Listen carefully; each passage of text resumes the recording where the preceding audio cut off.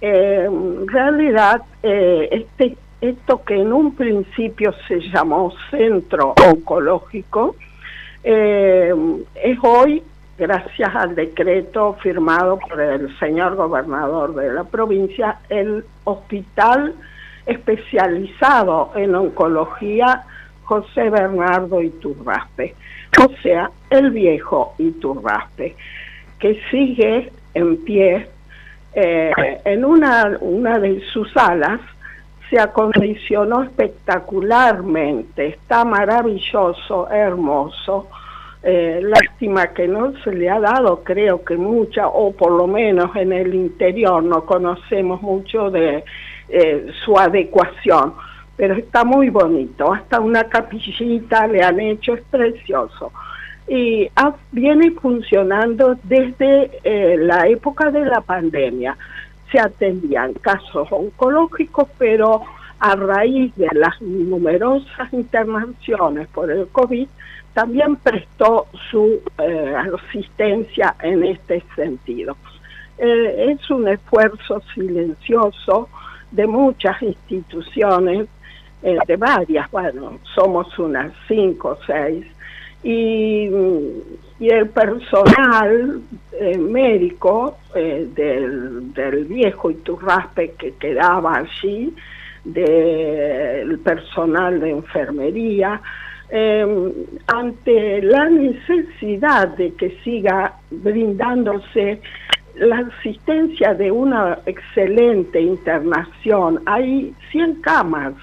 Eh, realmente eh, es importante, realmente, eh, su labor, su, su trabajo. No trasciende, vuelvo a repetirlo, porque la información a veces tenemos tantas preocupaciones que no prestamos oído tal vez a, la difusión, pero es así. Eh, y hoy nos podemos sentir satisfechos y orgullosos. Antes de que terminara el año, esperábamos con ansiedad que se cristalizara en la firma del decreto del señor gobernador, porque esto también asegura la estabilidad laboral de la gente, de los profesionales que ahí están. Entonces ya va a ser para siempre el hospital especializado en oncología. Eh, la Fundación Santa Fecina Virgen de Luján siempre aspiró a tener un, centro en nuestra comunidad, en el Hospital Suchón pero la burocracia eh, es eh, el eterno inconveniente, eh, la tecnología, el espacio físico, la cantidad de personal especializado que estos lugares, centros necesitan, demandan, se hacía inalcanzable. Por eso es que sumamos nuestro esfuerzo para que nuestra gente también tenga cabida en este centro, en este hospital hoy oncológico especializado.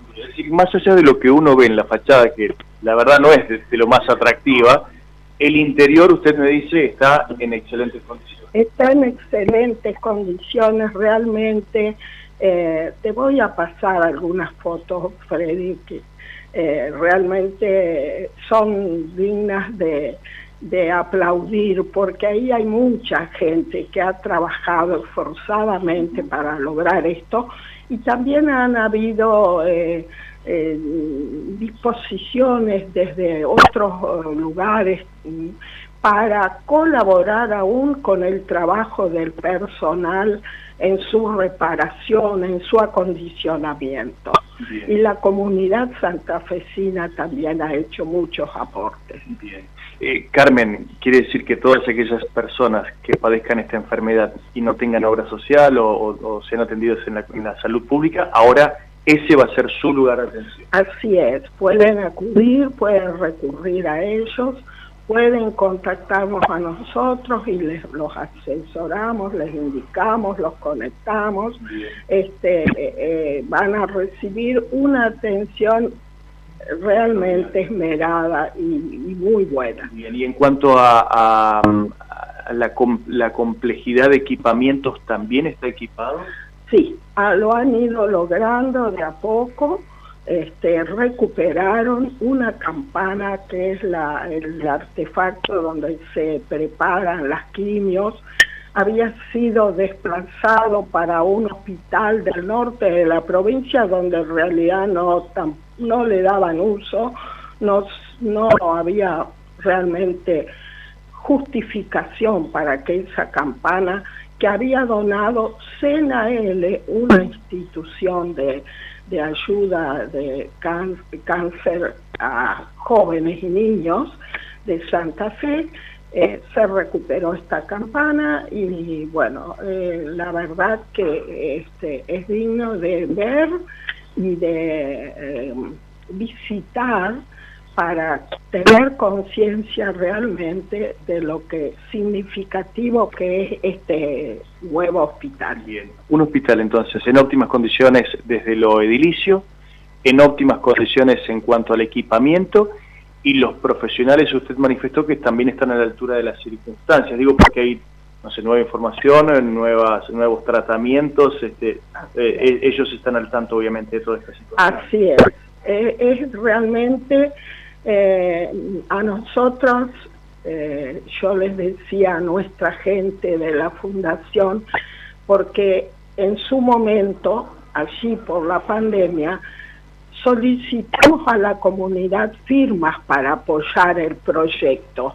O sea, que no se convirtiera el Iturraspe en un proyecto mercantil, eh, ¿no es cierto?, sino que fuera continuara siendo lo que para que sus eh, dueños, los dueños de esas tierras lo habían donado. La familia Iturraspe lo habían donado para salud. Entonces, este, la comunidad san Carlina y comunidades vecinas colaboraron con su firma. Estas firmas del centro, y norte de la provincia se elevaron a la gobernación y eso también fue convincente para el gobernador de que en realidad era necesario mantener, conservar y rehabilitar el hospital Iturraspe.